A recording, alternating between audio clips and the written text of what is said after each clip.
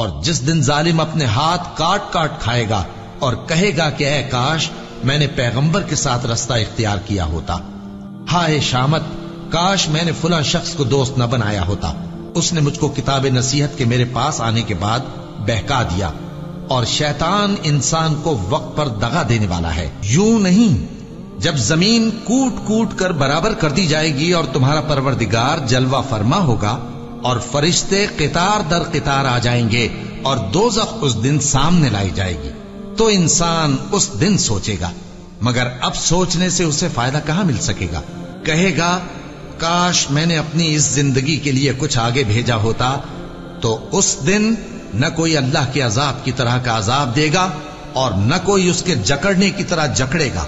जिस दिन उनके चेहरे आग में उलट पुलट किए जाएँगे तो कहेंगे काश हम अल्लाह की फर्मा बरदारी करते और रसूल वसल्लम का हुक्म मानते।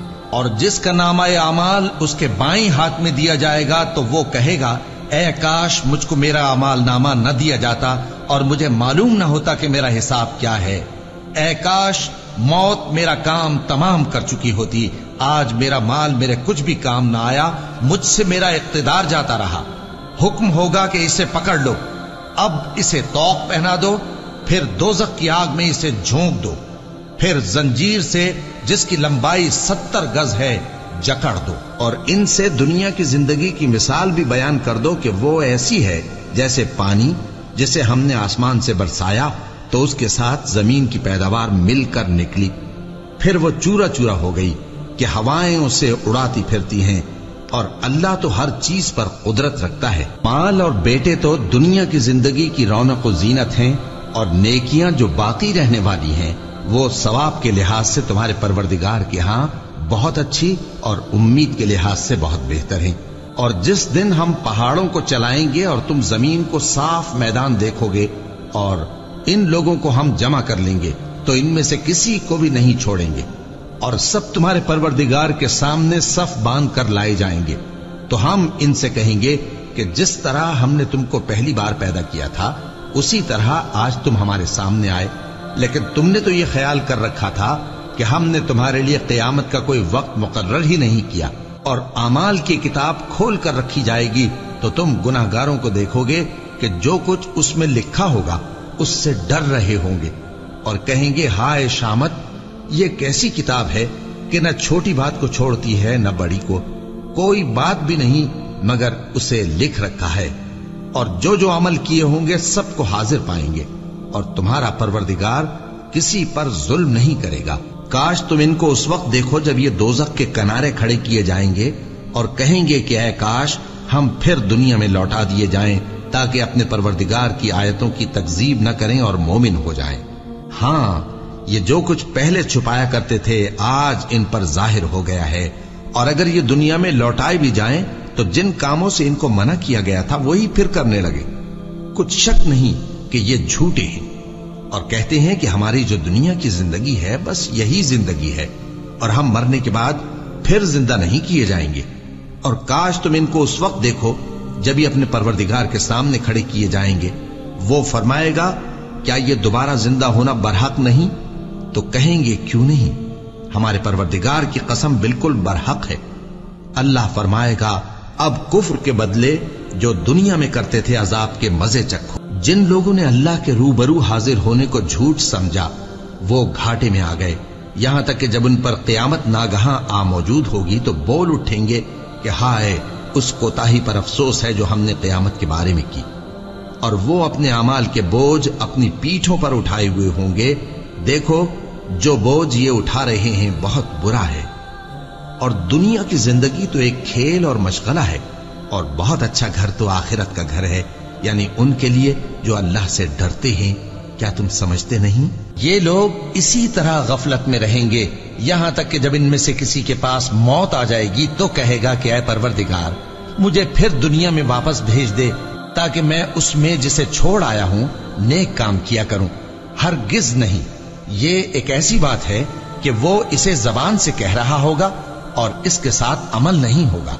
और उनके पीछे बरजख है, जहाँ वो उस दिन तक के दोबारा उठाए जाएँगे, रहेंगे। फिर जब सूर फूका जाएगा तो न तो उनमें कराबतें रहेंगी और न एक दूसरे को पूछेंगे।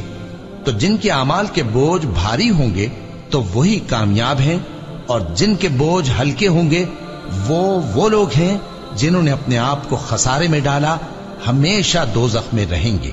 आग उनके चेहरों को झुलस देगी और वो उसमें बदशक्ल हो रहे होंगे। क्या तुमको मेरी आयतें पढ़कर नहीं सुनाई जाती थीं?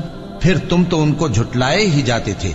वो कहेंगे, ऐ हमारे परवरदिगार, हम पर हमारी कमबख्ती गालिब आ गई और हम रस्ते से भटक गए।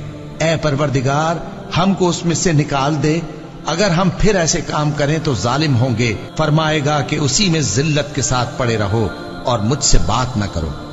मेरे बंदों में एक गिरोह था जो दुआ किया करता था कि ऐ हमारे परवरदिगार, हम ईमान लाए तो तू हमको बख्श दे और हम पर रहम फरमा और तू सबसे बेहतर रहम करने वाला है। तो तुम उनसे तमस्खुर करते रहे, यहाँ तक कि उनके पीछे मेरी याद भी भूल गए। और तुम हमेशा उनसे हँसी किया करते थे। आज मैंने उनको, उनके सब्र का बदला दिया कि वही कामयाब हो गए। अल्लाह पूछेगा कि तुम ज़मीन में कितने बरस रहे? वो कहेंगे कि हम एक रोज या एक रोज से भी कम रहे थे। शुमार करने वालों से पूछ लीजिए। अल्लाह फरमाएगा कि वहाँ तुम बहुत ही कम रहे। काश तुम जानते होते। क्या तुम ये ख्याल करते हो कि हमने तुमको बेमकसद पैदा किया है? और ये कि तुम हमारी तरफ़ लौट कर नहीं आओगे तो अल्लाह जो सच्चा बादशाह है, उसकी शान इससे ऊँची है। उसके सिवा कोई माबूद नहीं, वही अरश करीम का मालिक है। ए पैगंबर मेरी तरफ़ से लोगों को कह दो कि ऐ मेरे बंदो, जिन्होंने अपनी जानों पर ज्यादती की है, अल्लाह की रहमत से नाउम्मीद न होना। अल्लाह तो सब गुनाहों को बख्श देता है। बेशक वही तो है बड़ा बख्शने वाला, बड़ा मेहरबान, और इससे पहले कि तुम पर अजाब आ वाक़ हो, अपने परवरदिगार की तरफ़ रुजू करो और उसके फर्मा बरदार हो जाओ, वरना बाद में तुमको मदद नहीं मिलेगी। और इससे पहले कि तुम पर नागह अजाब आ जाए और तुमको खबर भी ना हो इस निहायत अच्छी किताब की जो तुम्हारे परवरदिगार की तरफ़ से तुम्हारी जानब नाजिल हुई है, पैरवी करो। ऐसा न हो कि उस वक्त कोई शख्स कहने लगे कि हाय, उस कोताही पर अफसोस है जो मैंने अल्लाह का हक मानने में की और मैं तो हँसी ही करता रहा। या ये कहने लगे कि अगर अल्लाह मुझको हिदायत देता तो मैं भी परहेजगारों में होता। या जब अजाब देख ले तो कहने लगे कि अगर मुझे फिर एक दफ़ा दुनिया में जाना हो तो मैं नेकुकारों में हो जाऊँ। इरशाद होगा क्यों नहीं? मेरी आयतें तेरे पास पहुँच गई थी, मगर तूने उनको झुटलाया और शेखी में आ गया और तू काफिर बन गया।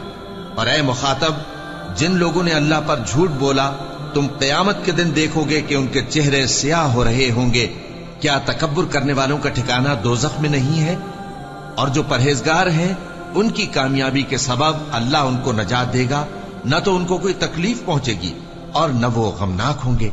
अल्लाह ही हर चीज़ का पैदा करने वाला है। और वही हर चीज़ का निगरान है।